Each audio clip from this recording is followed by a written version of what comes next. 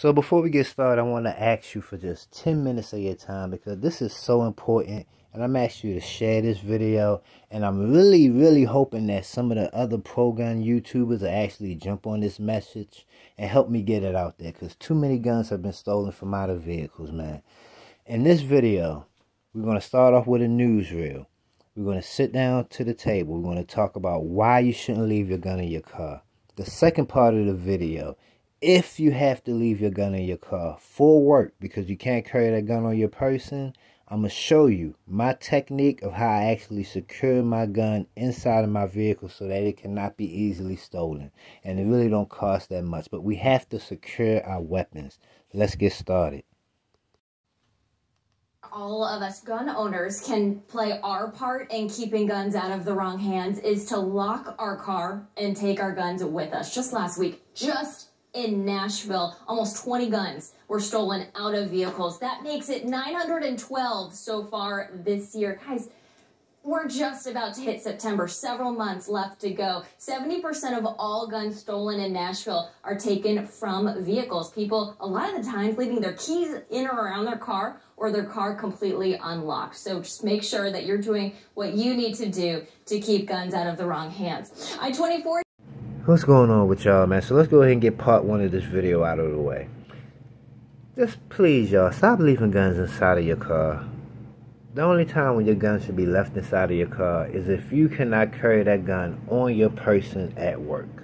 And if that gun is going to be inside of the car, it need to be locked down inside of a safe. I'm going to show you in part two of this video. Too many guns have been stolen. Over 900 guns, man. That's enough guns to arm a small militia, man. Like 900 fucking guns. And as you heard from the news report, people don't even lock their doors. They're leaving their keys in the car. Listen, we got to get down to the mentality. You have to have a mentality of where you take pride in your possessions and that you want to secure them from people stealing them. Just because you live in a nice neighborhood or a neighborhood that's not prone to crime do not mean that motherfuckers won't ride through your neighborhood and so happen to pick your vehicle to try to see if they can open up the door. Okay?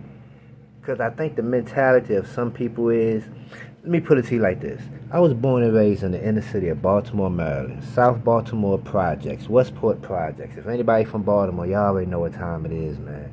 I left Baltimore when I was 17 and went into the Army. Thank God for the Army.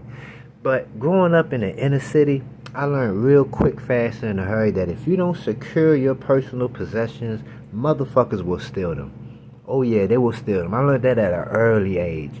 So with me, I'm not leaving my shit nowhere unsecured where somebody can just walk by and just snatch it up right quick. That shit ain't gonna happen.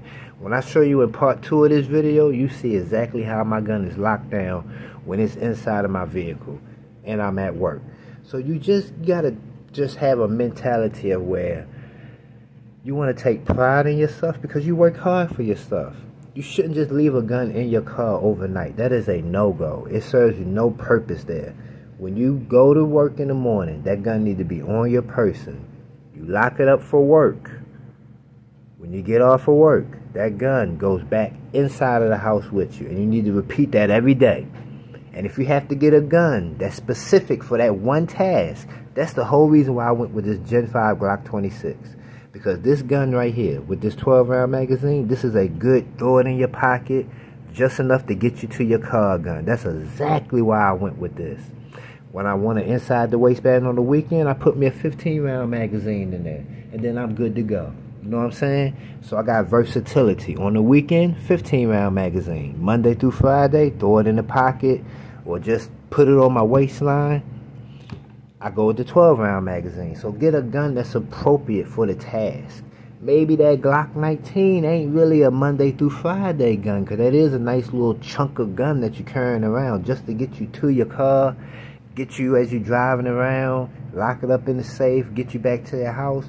Maybe that gun is a little bit too big for that. Get you something a little bit more smaller. A little get the fuck up off me gun, as I like to call it. Just something to get somebody to fuck up off you. So that's the first thing. So let's go to part two. Part two is I'm, I'm going to show you how you can lock your gun down if you have to leave it inside of your car for work. Because this is important. Because just the other day I was at work, Monday matter of fact, they said somebody car got broken into, and I just shook my head and just really just shook my head and just was that shit just made me mad because this is something I'm really passionate about.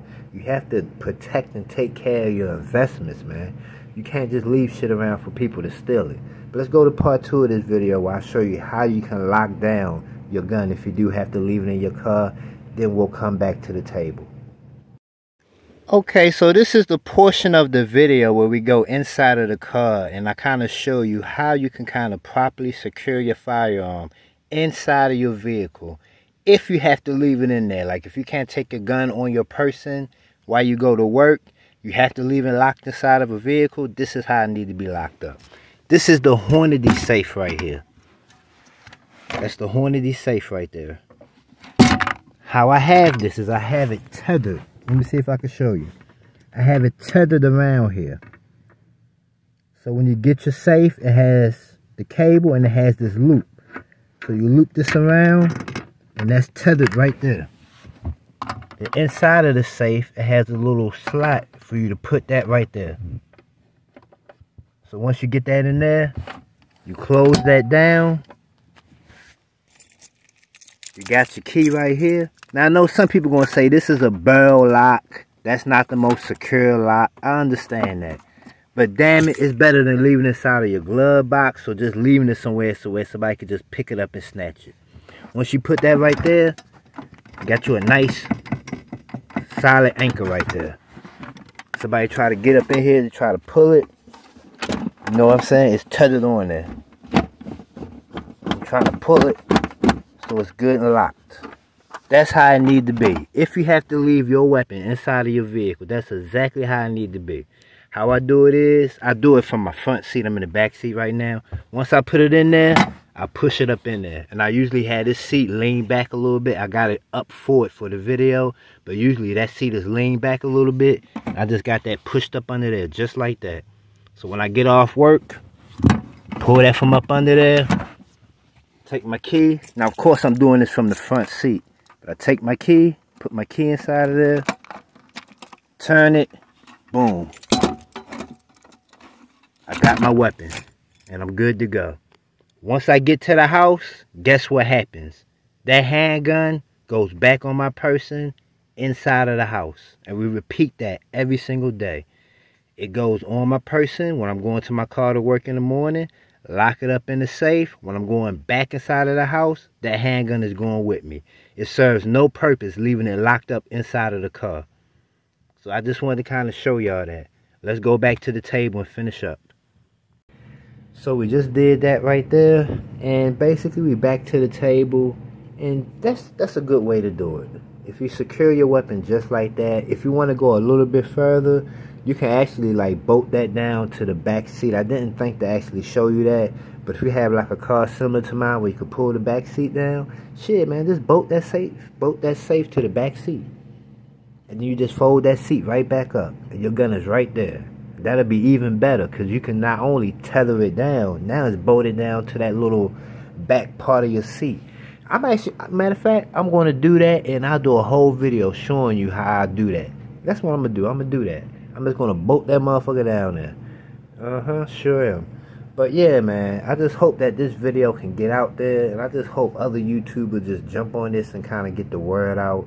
And we just need to secure our personal possession, because we work hard for that shit, man. And we don't need no thieving ass little motherfucker walking by snatching it up, man. Y'all be blessed, be safe, and I'm out.